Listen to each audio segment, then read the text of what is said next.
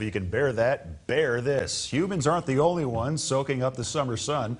Take a look at this family of bears making their way through a bike park in Mammoth, California. This looks to be a mother bear with two baby cubs following close behind for a nice afternoon stroll.